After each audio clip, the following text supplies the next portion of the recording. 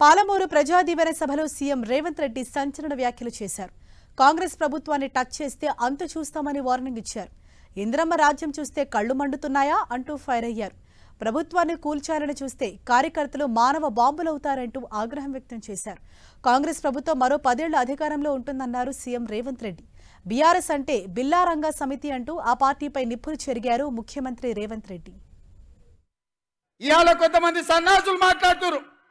రేవంత్ రెడ్డి నరేంద్ర మోడీ గారికి ఎందుకు వినతి పత్రాలు ఇచ్చిండు అని. నేను అడుగుతున్న సన్నాసులారా నేను ఎక్కడ పోయి ఇంట్లో తలుపులు మూసి కడుపులో తలకాయ పెట్టి కాళ్ళు పట్టుకోలే చెవులో గుసగుసలు చెప్పలే.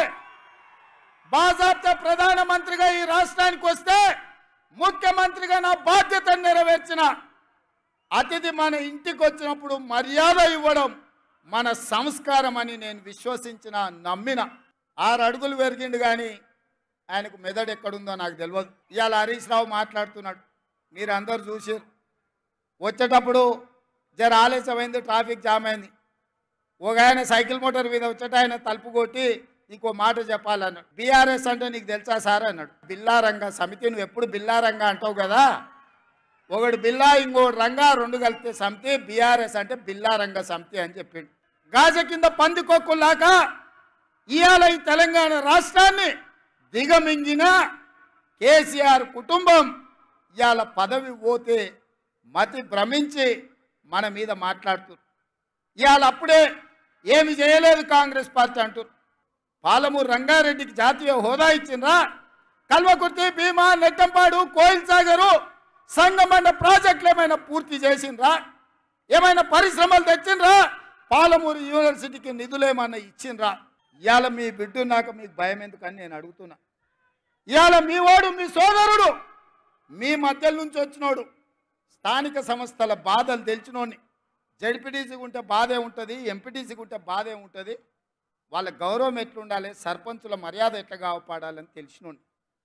ఇవాళ వాళ్ళందరూ పనులు చేసి బిల్లులు రాక ఆత్మహత్యలు చేసుకునే పరిస్థితి ఉన్నది. కొంతమంది ఆత్మహత్యలు చేసుకున్నారు కొంతమంది ఆలి మీద ఉన్న తాలి పుస్తలు అమ్ముకున్నారు. మీ బాధ నాకు తెలియదా నీలాకేమన్నా తాగుబోతున్నా నేనేమన్నా తిరుగుబోతున్నా? కేసీఆర్? తాగుతోటి దిగుతోటి మాట్లాడనికే నేను కేసీఆర్ని కాదు నేను మీ రేవంత్ అన్నాను.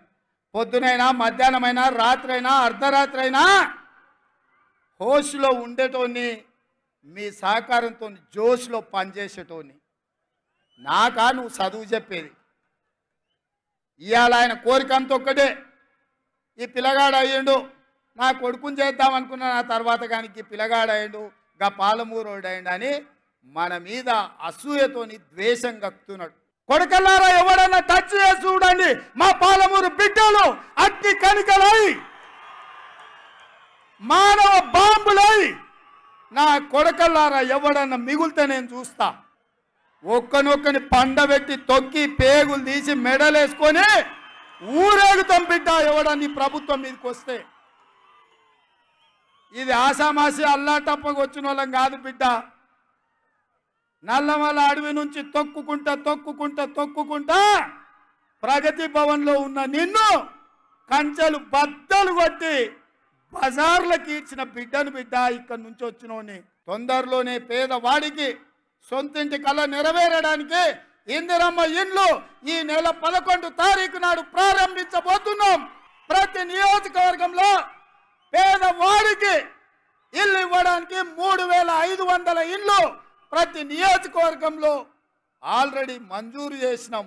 పేదలకు ఇండ్లు ఇవ్వబోతున్నాం. చంద్రశేఖరరావు మంది వేసినవో మంది వేయలేదో నాకు తెలియదు. నువ్వు పండుకున్నావో పండుకోలేదో నాకు తెలియదు. వాళ్ళ ఇంట్లో నేను చెప్తున్నా లేపూరి చంద్రశేఖరరావుని టీవీ చూపించు రేవంత్ రెడ్డి ఏం చెప్తున్నాడు.